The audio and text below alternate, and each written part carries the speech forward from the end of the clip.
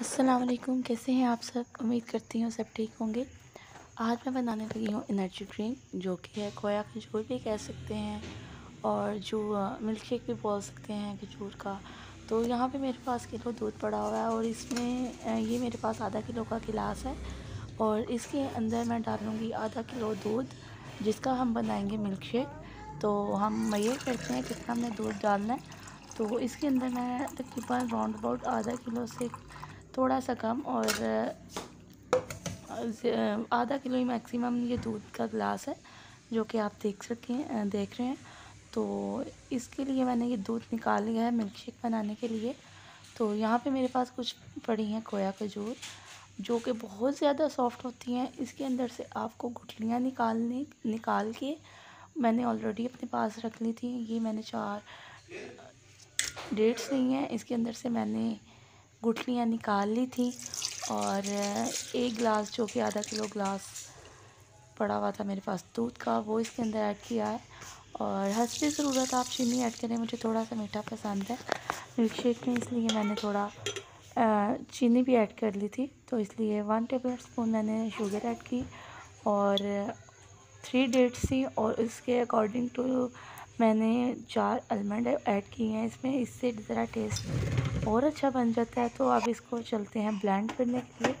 इधर हम इसको करेंगे ब्लेंड और आज मैंने लगाई हुई थी साथ मशीन और जो कि एनर्जी उस दिन के लिए बहुत ज़्यादा ज़रूरी होती है।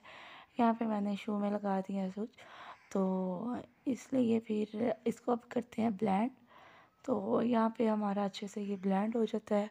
और दूसरी तरफ़ मेरी मैडम की चीखों पुकार स्टार्ट होने वाली है। क्योंकि वो सारा दिन की थक चुकी है और अब उसके सोने का टाइम है। It's eleven o'clock sorry nine o'clock तो यहाँ पे फ्रेश बिल्कुल लग रही है आपको फ़र्स्ट ऑफ़ ऑल और फिर ये आहिस्ता से जैसे ही मैं इसकी वीडियो बनाने लगूँगी तो तब ये रोना स्टार्ट कर देगी। आप देख सकते हैं कि यहाँ पे कपड़े डाल दिए हैं मैंने हर जगह पे। और यहाँ पे ड्राई डाल इधर मेरा गला काफ़ी ख़राब है, जिसकी वजह से मेरी रिकॉर्डिंग अच्छी नहीं हो रही।